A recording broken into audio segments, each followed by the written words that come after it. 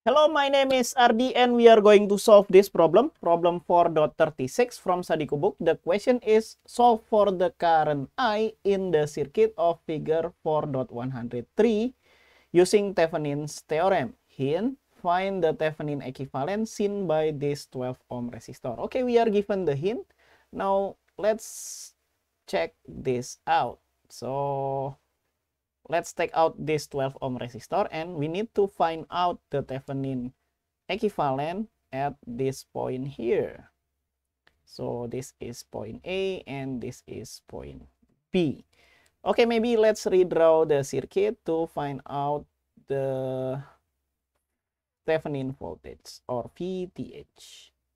Finding VTH. Okay, now maybe I will use black for the circuit. Okay, we still have that 10 ohm and that 50 volt voltage source. Okay, and then we open this resistor here and this is node A and this is node B, but we still have that 30 volt voltage source. So we have 30 volt. Okay. And then we also still have this 40 ohm resistor. Okay, and this is the circuit for finding the Thevenin voltage, which is the V between A, B. But here, straight off the bat, if we take this as our ground, we know that VB is equal to 30 volt. Okay, so let's save that VB is equal to 30 volt. But then our task is now to find out what VA is relative to the ground. But then we can use voltage divider for doing that which is 40 divided by 40 plus 10 multiplied by 50. 40 plus 10 is 50 and that will cancel out here. So we will have VA is equal to 40 volt.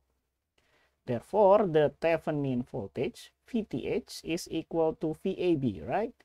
And VAB meaning that VA minus VB but VA is 40 and VB is 30. So 40 minus 30.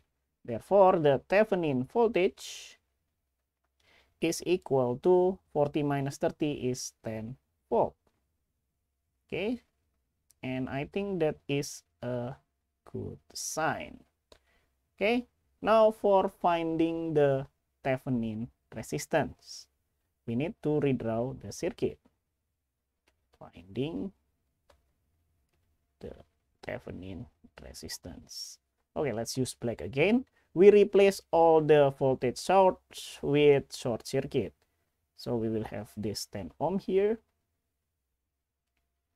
And this 50 volt replaced by short circuit, okay? And then we still have open circuit there. So this is A and this is B, but this 30 volt is replaced by short circuit. So we will have it like this this is node B and we still have that 40 ohm and we need to see the equivalent resistance from this point here. But then that is just the 40 and 10 parallel with each other. So the RTH is equivalent to 40 parallel with 10 that will be 40 multiplied by 10 divided by 40 plus 10. Okay, now we will have 400 as numerator and then 50 as denominator. 400 divided by 50, 50, that will be the Thevenin resistance, that will be 8 ohm. Okay, so we have two important value, which is the Thevenin equivalent voltage and then the Thevenin equivalent resistance. Okay, let's save this value and clean up the board to see what we can do from here. Okay, we have the Thevenin equivalent voltage is 10 volts, so we can draw it like this here.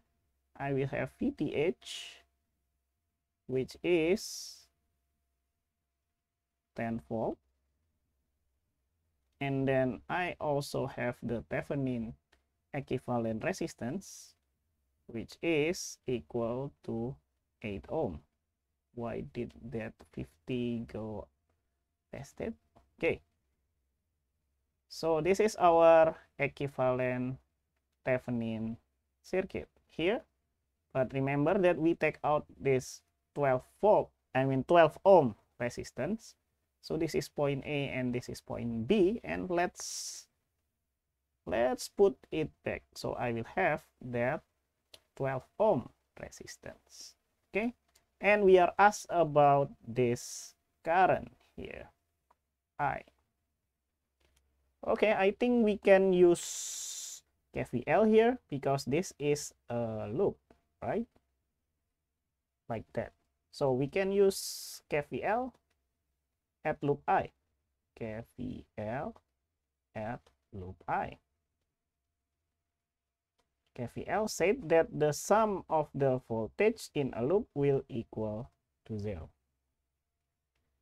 Okay, we start from this voltage source. So the current is flowing from the negative side to the positive side. So our sign will be negative. So I will have minus 10. And then plus, I will have 8 ohm here. But we need voltage, so we can use Ohm's law to get the voltage, which is the resistance multiplied by the current. So 8I.